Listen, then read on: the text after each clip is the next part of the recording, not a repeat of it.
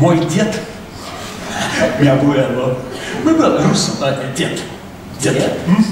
Э, умерший в 97 году, э, только что, вчера ночью, ну, 4 дня назад, он пришел ко мне и признался, что он потомственный дворянин Российской империи, кавалер Георгиевского креста, участник войны с красными в России, и зовут его Санчо никакой не Хуан. Хуан? Э, Но Хуан. Иван. Ну, Хуан. Иван.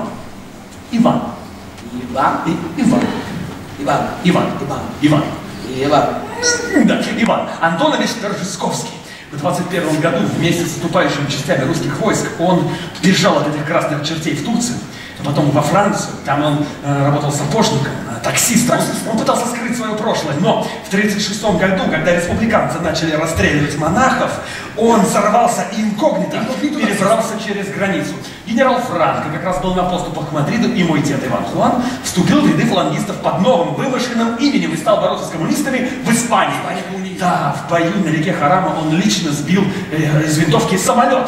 Потом достал летчика из кабины, дал ему пощечину. Франко наградил его крестом, пожаловал ему поместье в Ла-Манче. Но Санчо это все так и не смогло заменить ему вот, родную деревню под Тамбовом. Санчо, там, а, там, там в Тамбове, Санчо, там, там осталось его сердце. Там, там цвели яблони с тонким запахом молодой девушки. Родина, Санчо, родина Ла Патрия, родина России. Она звала его к себе. Dios mío, qué sueños. Никакие не суеверия, Санчо, это все чистая правда. Когда началась война, дед решил, что все, решил, пора отомстить за Россию, вернуть им должок за, за сожженное поместье, за расстрелянных брата, отца. О, одного летчика ему было мало. Он вступил в ряды головой дивизии и пошел было на фронт. Но опять вмешался этот вот генерал Франко. Он вернул моего деда в Испанию и запер на много лет в саду. Все, поместье осталось неточенным.